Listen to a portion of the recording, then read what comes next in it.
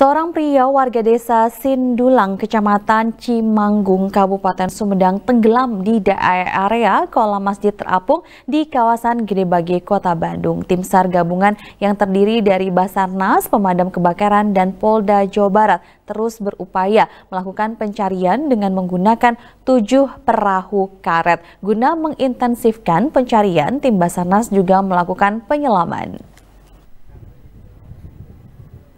Tim SAR gabungan dari Basarnas, Pemadam Kebakaran, dan Polda Jawa Barat ini tengah melakukan pencarian terhadap seorang pria yang tenggelam di kawasan Masjid Terapung, Kecamatan Gedebage, Kota Bandung.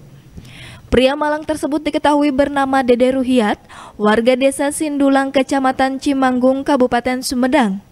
Korban tenggelam pada Senin malam. Pada saat peristiwa, Korban bersama beberapa orang temannya tengah bermain di kawasan masjid terapung ini. Korban Dede Ruhiat tiba-tiba tak sadarkan diri dan mengamuk. Sesaat kemudian ia langsung lompat ke kolam dan berenang dengan cepat. Sejumlah temannya sempat berupaya menyelamatkan korban, namun upaya tersebut gagal dan korban pun menghilang. Untuk mencari korban, tim SAR gabungan menerjunkan tujuh perahu karet, dua rescue car, satu unit LCR, dan lain-lain.